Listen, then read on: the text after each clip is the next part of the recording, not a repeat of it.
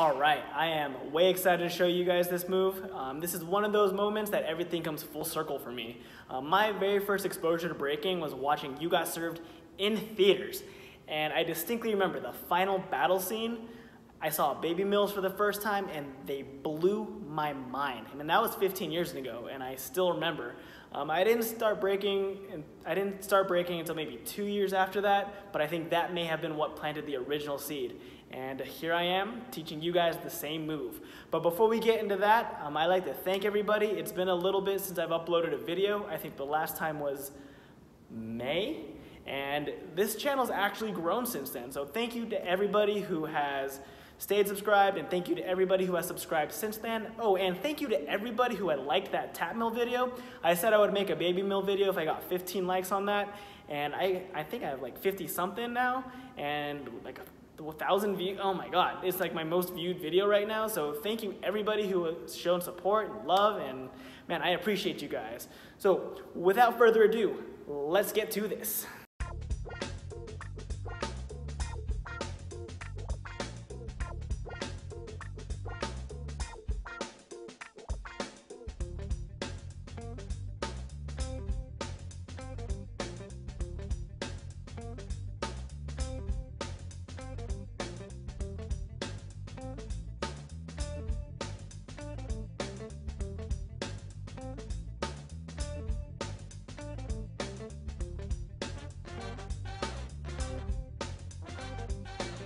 All right, guys, so let's get rolling. Our very first step is going to be learning the baby mill variation of the world's best windmill drill.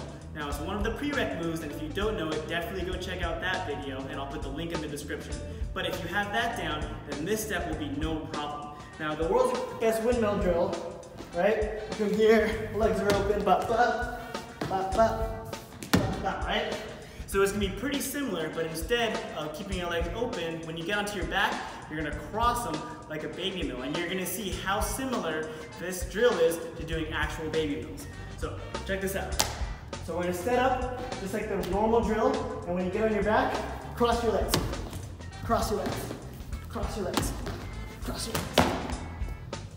And as I said, it's gonna get us used to doing the whole baby mill um, motion okay? And again, if you have the world's best windmill drill down, then this step will be no problem. And once you got this down, you're ready to start the move.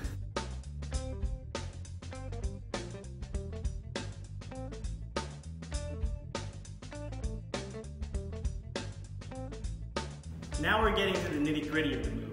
This step is gonna be pretty similar to when you're learning windmills and how you start in the stab freeze and you try to kick into a backspin. It's gonna be just like that, but except for a baby mill, your hips have to be a little bit higher.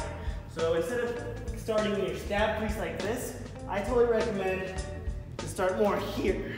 It's kind of like a high stab freeze, okay? Now from here, you're gonna practice the kick first. So just kicking your legs back and forth. And when you're ready, try to drop yourself into a backspin and hit the baby mill position. And you're just gonna do that until you're completely comfortable with it. One more time. Get into your high stab freeze, wind your legs, and then drop yourself into a backspin and hit that baby freeze position, okay? I'm going counterclockwise, and I'm crossing my left foot over my right foot, okay? And you're gonna do this until you're completely comfortable with it.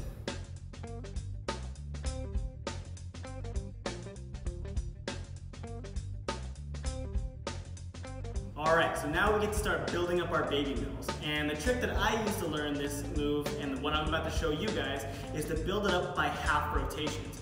So essentially what we have right now is a quarter baby move. So we got into our position, round our legs, and hit a backspin. That's a quarter. Now we're gonna build it up to the half. So basically, after you hit your backspin, you're gonna try to pop up back to your front side, just like the baby mill version of the world's best windmill drill. It's gonna look like this. So you're gonna get into position, and you're gonna wind, cross, pop, pop, okay? And you're back to your front side. And that's a half baby mill. But that's not where you're gonna stop. In that one, in that try, I landed one, two. But what you're gonna wanna do for this move is to land with just one foot with your legs crossed. And it's gonna look like this. So once you're comfortable with the one, two, you move on to the one foot. So you're gonna get into position, one, in, boom. And you're gonna land with the barrel and with your legs crossed. Okay, one more time. So get into position, one, in, up, barrel, one foot with the legs crossed. And you're gonna do that until it feels completely natural. And then you'll be ready for the next step.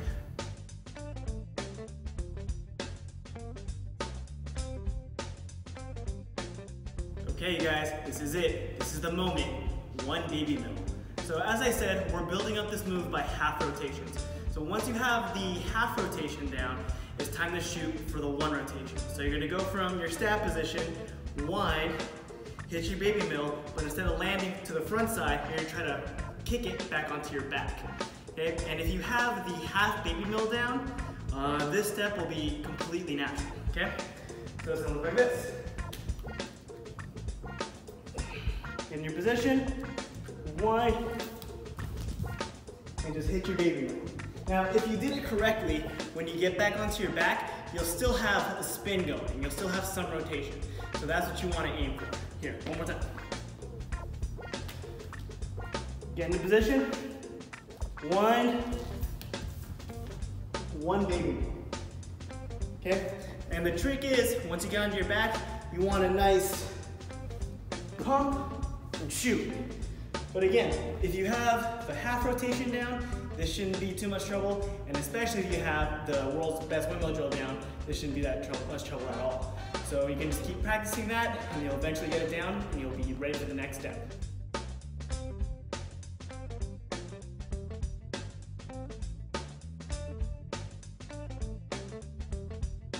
Okay, so we're just gonna keep on building. We have one baby mill down, so now it's time for one and a half. So after you get back onto your back, you're basically gonna try to shoot for another half rotation. And you're gonna go back to your front side. And it's gonna be just like the world's best windmill drill.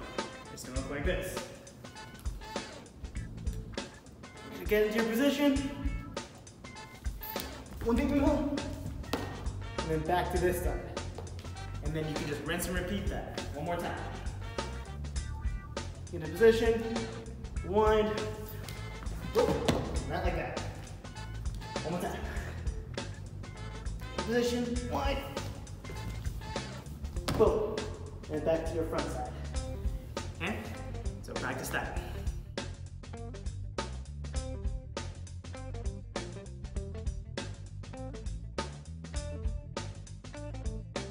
Alright you guys, I'm sure by now you are pretty familiar with this process, so as you probably guessed, we're gonna go for two baby mills now. So you're gonna get into position. Oh, and I'm probably not gonna talk because uh, doing baby mills and talking, very difficult. So just watch. So two baby mills. Get into position. Boom. And still, when you reach your back again, you notice I still had some rotation left. One more time.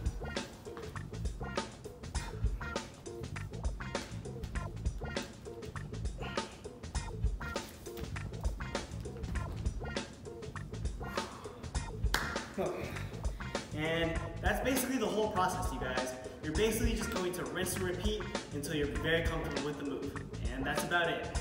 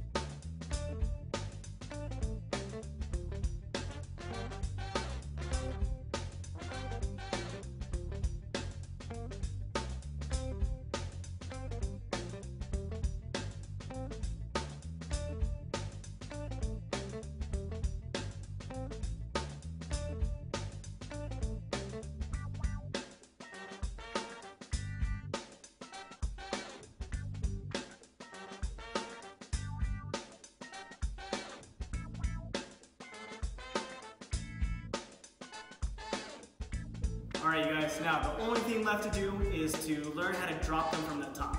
You can use that process for as many baby mills as you want. You can build them up to two and a half, three, three and a half, four, however you see fit. Personally, once I got three from that position, I just started going for it from the top. Now, it's the only thing uh, when you drop in, you want to maintain a slightly higher angle than you would if you were than if you were dropping in for a windmill. But if you've used this process well, you'll probably be able to negotiate it uh, fairly easily. So, from the top, just like regular windmills, you set up, drop in,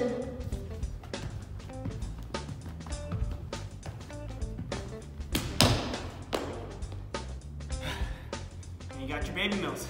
There you have it. That is my baby mill learning process. If you guys dug the video, please leave a like, hit the subscribe button, and click the notification bell so you don't miss a video. I have a ton more ideas for you guys um, beyond that of just move tutorials, so you guys won't want to miss it. Um, and I'll be sure to put up a video updating you guys of where I've been and what I've been doing for the past few months. I think you guys will really like it. Um, I've had some awesome stuff happen to me, and um, yeah, I'm excited to share that with you guys. Um, also, follow me on Instagram at cypher underscore science. I got some cool stuff going on there too. And uh, yeah, until next time, you guys, I'll see you around.